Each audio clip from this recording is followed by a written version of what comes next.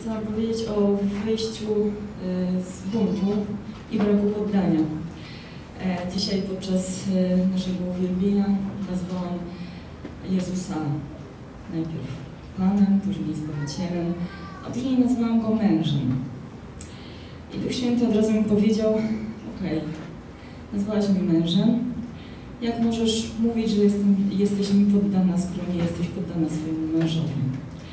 I od razu zaczęłam mnożyć i mówię, ale przecież mój mąż może się pomylić, a, a Ty Jezu się nie mylisz.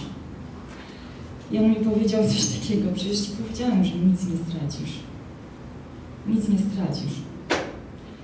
To, że będziesz ufała mi, będzie poddanie Twojemu mężowi będzie testem tego, jak mi ufasz.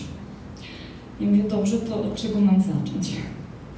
E, no i powiedział mi o tym, że mam nie korygować swojego męża, jak prowadzi samochód. Więc teraz przed Tobą, mężu i przed Wami, Kościele, mówię, że wydałam e, wojnę braku poddania. Bo to jest ściema, że jestem poddana Jezusowi, jeśli nie jestem poddana mojemu mężu. Amen. Amen. To są bardzo ważne rzeczy. Bardzo ważne rzeczy.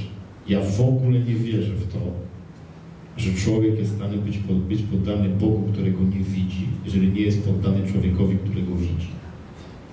To jest hipokryzja.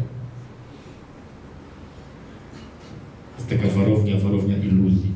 Iluzyjnie się żyje. Tak samo jak ludzie mówią, że są sługami Bożymi. Kiedyś byłem w domu takiego sługi Bożego. Miał taki pieprznik w domu, że się w głowie nie mieści. Musiał go sprzątać, że miał ukusić. On tak mocno służył Bogu, że nie mógł tego domu posprzątać.